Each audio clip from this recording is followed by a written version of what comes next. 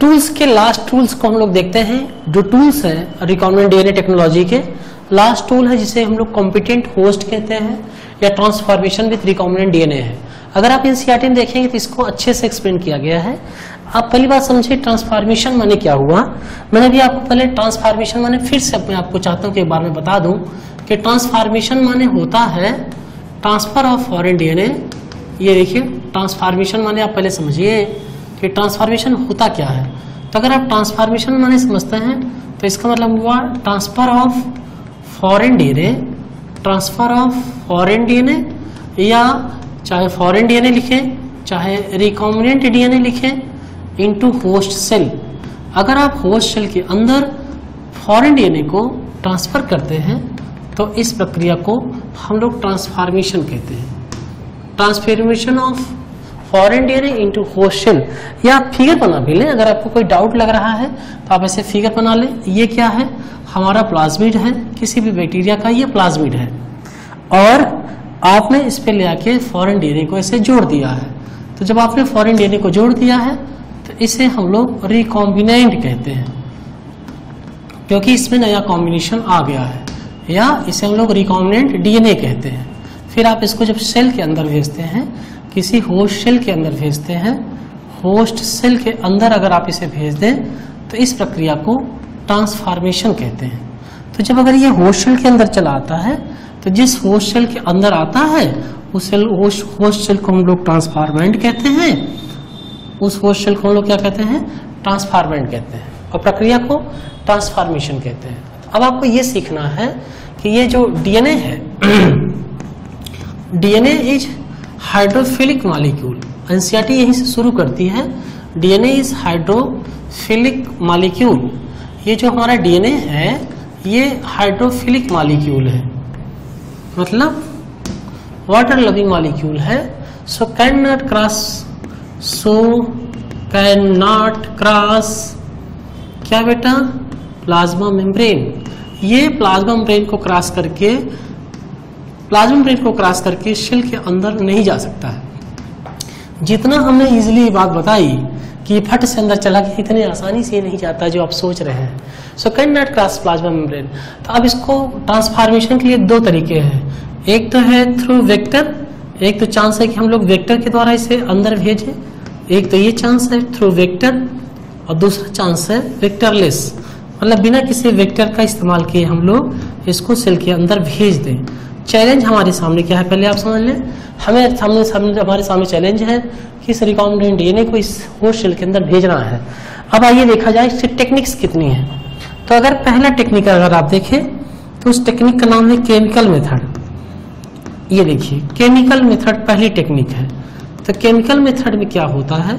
आप ये देखें केमिकल मेथड ये है। अब हम करते क्या है? ये पहले फिर देख लीजिए। इसमें जो है इसमें डाइवेलेंट आयन का इस्तेमाल होता है। डाइवेलेंट आयन का इस्तेमाल होता है। ये देखिए, डाइवेलेंट आयन है, उसका नाम कैल्शियम आयन है। हम करते क्या है? ये देखिए, हम ऐसे शेल लेते हैं। ये देखिए, इस शेल के अंदर ये हमारा कोलाई बैक्टीरिया है। कौन बैक्टीरिया है? कोलाई बैक्टीरिया है। इस बैक्टीरिया की अगर हम देखें, ये कोलाई बैक्टीरिया है। इस बाहर की मेम्ब्रेन का नाम, क्योंकि बैक्टीरिया है तो सेलवाल बाहर पड़ी है, और सेलवाल के अंदर, बेटा मेरे, सेलवाल के अंदर दूसरी मेम्ब्रेन और है। कौन सी मेम्ब्रेन है? अगर मैं आपसे कहूँ, सर, इसके अंदर प्लाज्मा मेम्ब्रेन है। ये तो एक स्ट्रक्चर ये हो गया। और हमें क्या करना है? रिकॉम्बिनेंट है ये हमारा। ये हमारा फॉरेन डीएनए है, जिसको इस सेल के अंदर भेजना है। तो हमने क्या किया? इस मीडियम में ये जो मीडियम है, इस मीडियम को हमने कैल्शियम आयन का मीडियम दिया।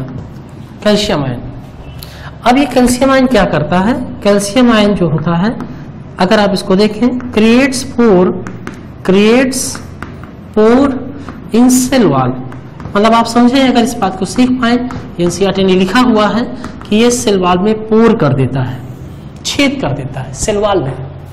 जब सेल वाल में ये पोर कर देता है तो ये देखिए जो ये प्लाज्मिड है, ये सेल वाल को क्रॉस कर जाता है। मतलब अब आप लिख सकते हैं so plasmid can cross so plasmid can cross cell wall अब ये जो प्लाज्मिड है, ये सेल वाल को क्रॉस कर जाता है। लेकिन क्या वो सेल के अंदर चला गया? कोई और कोई बाउंड्री है जिसको रोक रही है? बोलो भाई, उसको रोक कर रही है दूसरी बाउंड्री है सेल वॉल के अंदर वाली बाउंड्री कौन सी है? प्लाज्मा मेम्ब्रेन है। तो ये केमिकल मेथड में केवल उस सेल वॉल को क्रॉस करता है। किसकी बात हो रही है? प्लाज्मिड की बात हो रही है। किस प्लाज्मिड की? ये हम स्टेराइचो कोलाई बैक्टीरिया में देख रहे हैं कि हम प्लाज्मिड को कैसे इंटर करते हैं।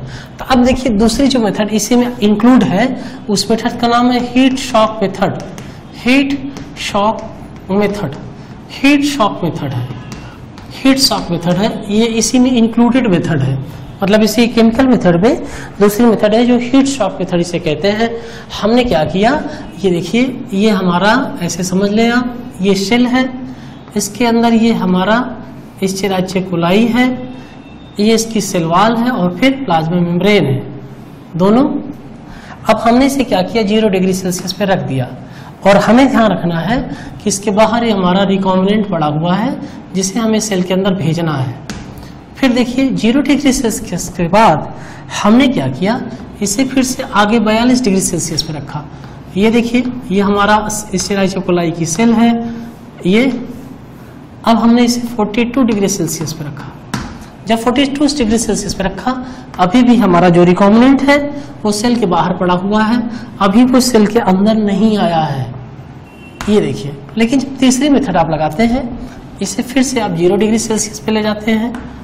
ये देखिए, इसी सिरा चकोलाई को ज़ीरो डिग्री सेल्सियस पे ले जाते हैं तो अब आप देखिए क्या हो रहा है। ये हमारा सिरा चकोलाई है, ये इसकी प्लाज्म और सेल वाल है, और ये देख बेटा, इसके अंदर हमारा चला कौन आया? कौन चला आया इसमें देखिए, प्लाज्मेट। ये देखिए। इस मेथड को कौन सी मेथड कहेंगे? हीट शॉक मेथड तो इसमें क्या होता है कि पहले ज़ीरो डिग्री सेल्सियस पे, फिर बयालीस पे, फिर ज़ीरो डिग्री सेल्सियस पे इससे राइचोकोलाई की सेल को रखते हैं। इस तरह से आप देखें, ये प्लाज्मिड अपने आप, जो प्लाज्मिड है इसे राइचोकोलाई का, अपने आप सेल के अंदर चला आता है। दूसरा मेथड देखिए। दूसरा जो मेथड है, उसे हम लोग माइक्रो इंजेक्शन मेथड कहते हैं। देखिए, इस मेथड का नाम है micro injection method micro injection method है। ये दूसरी मेथड है। ये देखिए माइक्रो इंजेक्शन मेथड है। अगर आपको इसके बारे में लिखना हो तो सिर्फ़ एक लाइन लिखिए, जो एनसीईआरटी ने पूछा है आज तक। ये देखिए suitable for animal cells suitable for कौन सी सेल एनिमल सेल ये एनिमल सेल के लिए सुटेबल मेथड है। मतलब अगर आपको एनिमल सेल के अंदर अपना रिकॉम्बिनेंट डीएनए भेजना है तो आप इसका इस्तेमाल कर सकते हैं। सिंपल सी बात है। ये देखिए, ये सेल है। क्या है ये? सेल है। कौन सी सेल है? आप लिख लीजिए सर, ये एनिमल सेल है। पूरी बात लिख ले। आप बिल्कुल चिंता ना करें। ये इस सेल का न्यूक्लियस है और न्यूक्लियस के अंदर ये इसका न्यूक्लियस है। सीधे आप लिखे, हम क्या करते हैं? एक इंजेक्शन लेते हैं। ऐसे देखिए, एक बड़ा सा इंजेक्शन होता है इस तरह से। जैसे आपको इंजेक्शन लगता है, याद करिए बचपन में डॉक्टर जब आपको इंजेक्शन लगाता था, सीधे इस इंजेक्शन को यहाँ पर देखें। इस इंजेक्शन के अंदर इसके, इस इंजेक्शन के अंदर हमारा जो पड़ा हुआ है, कौन सा डीएनए पड़ा हुआ है? इसके अंदर रिकॉम्बिनेंट डीएनए पड़ा हुआ है और इसको सीधे इसके न्यूक्लियस पे भेज दिया जाता है। मतलब आप समझे रिकॉम्बिनेंट डीएनए कहाँ चला जाता है? सीधे न्यूक्लियस में। तो अगर आप देखें तो लिखते इस मेथड में recombinant DNA is transfer into, is transfer into nucleus इसमें रिकॉम्बिनेंट डीएनए जो होता है, सीधे न्यूक्लियस में भेजा जाता है। ये देखिए। एक बात मैं आपको याद करा दूँ, जब आप ह्यूमन रिप्रोडक्शन पढ़ते हैं, वहाँ पढ़ते हैं आप इंटर साइटोप्लाज्मिक स्पर्म इंजेक्शन। वहाँ पर ओबम के साइटोप्लाज्म स्पर्म का इंजेक्शन लगाया जाता है। मतलब ओबम के साइटोप्लाज्म स्पर्म को भेजा जाता है साइटोप्लाज्म स्पर्म को भेजा जाता है। और यहाँ पर इसके न्यूक्लियस में सीधे रिकॉम्बिनेंट डीएनए को ट्रांसफ़र किया जा रहा है। ये कौन सी सेल है? एनिमल सेल है। तीसरी जो है, ये देखिए, तीसरी जो मेथड है, उसे हम लोग बायोलिस्टिक बायोलिस्टिक या इसी को हम लोग जीन गन मेथड कहते हैं। बायोलिस्टिक या इसे हम लोग जीन गन मेथड कहते हैं। ये देखिए, बायोलिस्टिक या जीन गन मेथड कहते हैं। इस मेथड में क्या होता है अगर आप देखें तो सुटेबल फॉर प्लांट्स ये देखिए, ये प्लांट सेल के लिए अच्छी है परफेक्ट है। तो आपसे ये पूछा जाता है सुटेबल फॉर प्लांट सेल ये पहले लिख लें, आपको क्लियर रहे कि किस सेल के लिए इंपॉर्टेंट है। ये सुटेबल फॉर प्लांट सेल ये प्लांट सेल के लिए परफेक्ट होती है प्लांट सेल के लिए अगर परफेक्ट होती है, इसमें होता क्या है अगर आप देखें? इसमें अगर हम लोग देखें तो ये देखिए, ये प्लांट सेल है, ऐसे बना दीजिए। कौन सी सेल है? ये प्लांट सेल है। अब इस प्लांट सेल पे हम लोग क्या करते हैं? ये इसका न्यूक्लियस है, ये डीएनए वगैरह है। हम लोग क्या करते हैं? टंगस्टन या गोल्ड की टंगस्टन या गोल्ड की हम लोग बुलेट्स ले लेते हैं, गोलियाँ ले लेते हैं। मतलब गोलियाँ ले लेते हैं बुलेट्स ले लेते हैं ऐसे बुलेट्स ले लेते हैं कोटेड विथ डीएनए उनके ऊपर हम लोग डीएनए की कोटिंग कर लेते हैं। कोटेड विथ रिकॉम्बिनेंट डीएनए या डीएनए लिखा हुआ है। हम क्या करते हैं, एक कट्टा लेते हैं। कट्टा समझते होंगे आप, यूपी बिहार कट्टा कहते हैं। हम ऐसे गन ले लेते हैं। ये देखिए, ऐसे गन होती है। इसे जीन गन कहा जाता है। यहाँ पर देखिए ट्रिगर होता है। ऐसे लगा लेते हैं इस गन को। यहाँ पर एक खास तरह की गोलियाँ हैं। ये देखिए, ढेर सारी गोलियाँ हैं। ये गोलियाँ जो है टंगस्टन या जो है गोल्ड की होती हैं और इन गोलियों के ऊपर हमारा डीएनए कोटेड होता है, ये देखिए। इनके ऊपर डीएनए से कोटेड होता है, इनको हम इस सेल के ऊपर बार बार बम्बार्ड करते हैं और एक आध गोली जो है सेल के अंदर चली जाती है। चाहे आप यहाँ देख लें, ये टंगस्टन की गोलियाँ हैं, टंगस्टन की गोलियाँ हैं और इनके ऊपर जो है ये डीएनए से कोटेड होता है, डीएनए कोटेड होता है। इस तरह से प्लांट सेल में हम लोग लगातार इससे फायर करते हैं, इस गन को हम लोग जीन गन कहते हैं, क्योंकि इससे हम लोग फायर करते हैं, लगातार गोलियों को सेल के ऊपर और एक सेल सेल के अंदर चली जाती है, एक आध कोई गोली जो है सेल के अंदर चली जाती है। वो गोलियाँ जो होती है टंगस्टन गोल्ड की होती हैं। चौथा जो मेथड है बेटा disarmed pathogen disarmed pathogen disarmed pathogen ये लास्ट टेक्निक है। हम लोग क्या करते हैं, तमाम पैथोजन हैं जिनसे हमको डिजीजेस होती हैं। हम उनके बेकार जीन को निकाल के बाहर कर देते हैं, उनमें हम अपना डीएनए फिर से जोड़ देते हैं, और जो डिजायर्ड जीन है, और उस डिजायर्ड जीन को जोड़ने के बाद हम फिर से सेल के अंदर ट्रांसफ़र करना शुरू कर देते हैं। तो आपको मेनली ध्यान रखना है माइक्रो इंजेक्शन मेथड में। हम लोग इंजेक्शन लगाते हैं, सीधे न्यूक्लियस में रिकॉम्बिनेंट डीएनए को ट्रांसफ़र करते हैं। बायोलिस्टिक जीन गन मेथड में टंगस्टन गोल्ड की गोलियों के ऊपर हम डीएनए की कोटिंग करके फायर करते हैं लगातार। पैथोजन में जो हमारा पैथोजन है पैथोजन जो है उसमें जो अनवांटेड जीन्स हैं अनवांटेड जीन्स जो बेकार जीन्स हैं, जिनसे हमें खतरा है unwanted genes are replaced by unwanted genes are replaced by unwanted genes are replaced by कौन सा जीन बेटा? Replaced by unwanted genes are replaced by desired gene हम इसमें डिजायर्ड जीन को जोड़ देते हैं और फिर इन्हें जो है किसी के भी अंदर भेज सकते हैं।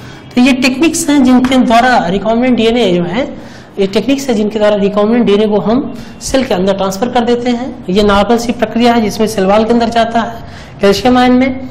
ये हुइट शॉक मेथड है, जिसमें पहले ज़ीरो फिर बयालीस फिर ज़ीरो पे रखते हैं तो प्लाज्मिड सेल के अंदर चला जाता है। ये माइक्रो इंजेक्शन मेथड है जिसमें एनिमल सेल भेजा जाता है। बायोलिस्टिक चीनगन मेथड है जिसमें गोलियाँ फायर की जाती है, डिसार्ड पैथोजन है, जिसमें जो खतरनाक पैथोजन है एच हो गया, कोई और भी पैथोजन है, उसके जो खराब जीन्स है, जैसे टीआई प्लाज्मिड था ट्यूमर इंड्यूसिंग प्लाज्मिड था बैक्टीरियम को तो हमने ट्यूमर वाले जीन को निकाल के अपना डिज़ायर जीन लगा दिया और फिर उसको हमने सेल के अंदर फायर करना शुरू कर दिया सेल के अंदर जाएगा और हम जो चाहेंगे उस तरह के प्रोडक्ट तैयार करेगा।